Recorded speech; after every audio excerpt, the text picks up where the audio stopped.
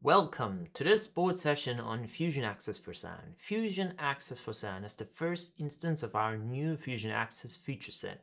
Let me show you why Fusion Access is so special and where it provides a new paradigm to the OpenShift storage industry, especially when it comes to OpenShift virtualization. Let's send over to the board. So this is an environment that um, we see a lot. Um, people come in, they want to migrate to an OpenShift world, which is um, what we see up here. And that would then consist of control planes and workers. And for example, here I just have three control plane nodes and three worker nodes. And we are planning to run some VMs on the worker nodes.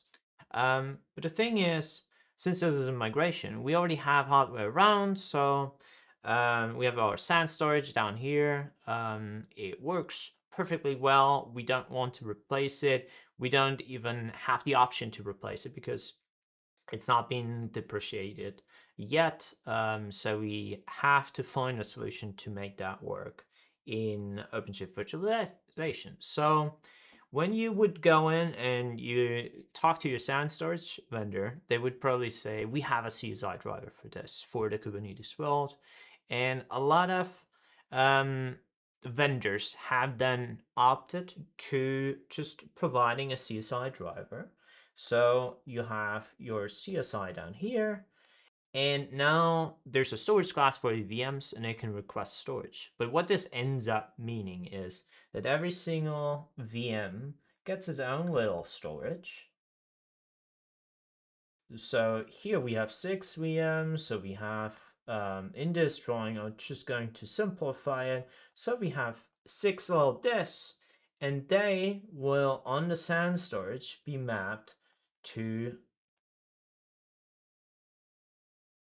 six little LUNs. Now, um, this is a problem because that means, on the one hand, your SAN storage needs to be able to handle those massive amounts of LUNs.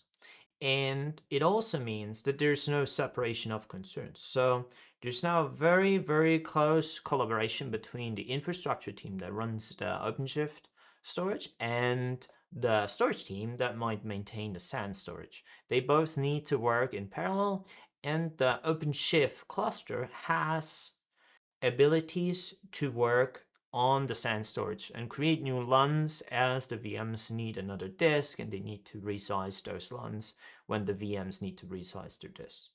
Um, a lot of companies that I've talked to, they don't like that. That's not their model of uh, business. And so this doesn't work for them.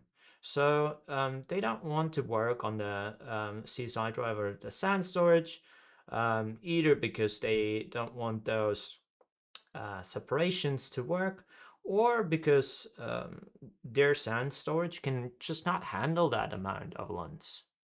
Um, what they can also do is they can use software-defined storage. There are a couple of options. Obviously, in IBM, we have Fusion with Fusion Data Foundation, so that could work. And that usually means that for every worker uh, in your cloud, or there are a couple of workers that then um, take up a huge uh, or larger disk. And now you end up with having um, a static set of LUNs and they map here. Um, the problem though is um, the SDS would then split that up into small disks. I'm not going to write, uh, again, six small disks here, but you get the what happens here. We have three LUNs that we're exporting um, to our three workers. Now the SDS needs to do replication on that layer. So we have between those disks here, usually replication. Why is that? Because um, the software-defined storage does not know about the SAN storage. It does not know about any replication going on, and they want to protect against failure in the OpenShift layer. So if we were to lose a node, we want to move its VMs over to the still existing workers. And we can only do that if we have the replication because we're not able to move the LUN to the other side.